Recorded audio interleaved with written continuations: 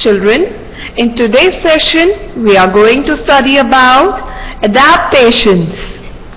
That is how plants survive. So we will learn about terrestrial plants in this session. Children, the plant kingdom is very vast. As you can see many different types of plants around you. So we can say that the plant kingdom is very vast. There are many different kind of plants of different shape, different sizes, right? So children, we can say that plants can be found almost all over the earth. We would see different plants growing in each place. For example, plants grow on seashore, in desert, in plain and plants also grow on the top of a high snow covered mountain. So children, we can say that plants can be found almost all over the earth. So children, now let's study about the types of plants. Children, there is a variety of plants that grow on earth. So, wherever you go, you can see the plants around you. That means there is a vast variety of plants that grow on earth. So children, they can be divided into two main types. So into how main types plants are divided? Two main types. The first one is the plants that grow on land are known as terrestrial plants. That means terrestrial means of the earth. Right? So you can see in the picture. And the second one, the second main type is that plants that grow in water are known as aquatic plants. That means aquatic means of the water. So children, plants are divided mainly into two types. The plants that grow on land that are terrestrial plants and the plants that grow in water that are aquatic plants. Okay children? So now let's study about terrestrial plants.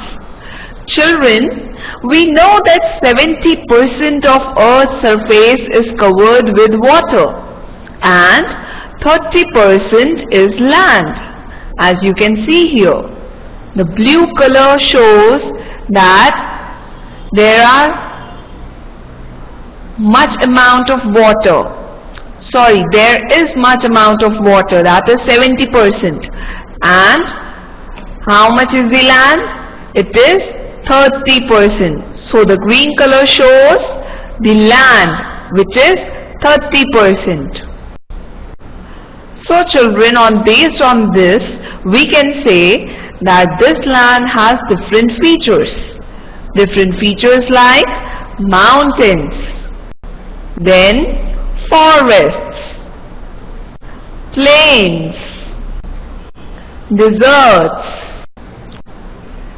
So children, our land has different features like mountains, forests, plains and deserts.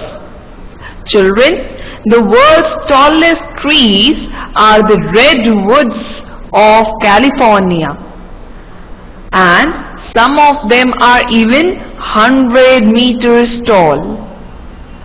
So children, as our land has different features, some parts receive heavy rainfall, some receive medium rainfall and some receive very little rainfall. So you can see in the picture, right?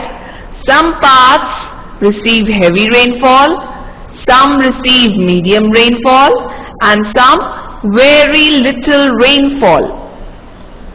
So children, very cold areas also receive snowfall instead of rain. As you can see in the picture, Yes, this picture is showing snowfall because it is very cold. So very cold areas receive snowfall instead of rainfall. So children, we can say that all these areas we find different kinds of plants because Plants need to adapt to the natural conditions of the area in which they are able to survive. So children, what do you mean by adapt? Yes, to adjust in a new living condition is called adapt. So children always remember that plants need to adapt to the natural conditions of that particular area in which they live to be able to survive. So plants adapt themselves to survive. So now let's see one interesting example. Yes, children, you will not find an apple tree in a desert because a desert receives very little rainfall. Right? So children, always remember that different areas have different plants and all the plants need to adapt themselves to be able to survive.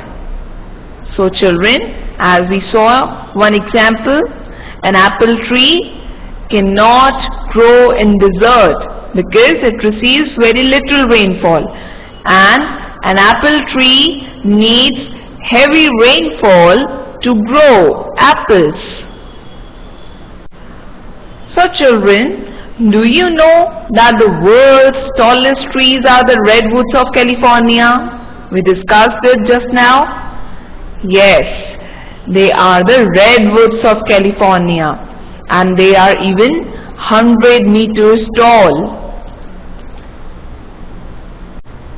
So children, let us now study the features of plants that are found on land. So the first one is plants on mountains. Children, trees growing on mountains and hilly areas are usually tall, straight and have a cone shape. Why they are having the cone shape? Yes, because snow can easily slide off their branches. We'll see some picture and some examples and you will come to know that why the trees growing on mountains and hilly areas are tall, straight and cone shaped because Snow can easily slide off their branches. And children, the plants on the mountains are usually flowerless and have cones with insides with seeds inside them. So you can see here, you can see the picture. They are flowerless and they have cones but they have seeds inside them. So children, the plants on the mountains have leaves and the leaves of these trees are needle-like. Why they are needle-like? Yes, they are needle-like because they can protect or prevent any damage from snow. So the leaves of these trees are needle-like and have a waxy coating on themselves to prevent any damage from the snow. So you can see here, right? So this is a picture of such a tree which is present on the mountain. For example, the plants on the mountains are oak tree. then pine trees, then fir trees, then deodar tree, then redwood tree. So children, these are all examples of the plants that grow on mountains. Right? So children, besides these trees which we saw right now, there are other small flowerless plants like ferns and lichens which also grow here. That is, they also grow on mountains. So these are ferns and this is the picture of lichens. So children, ferns and lichens are very small flowerless plants that also grow on the mountains.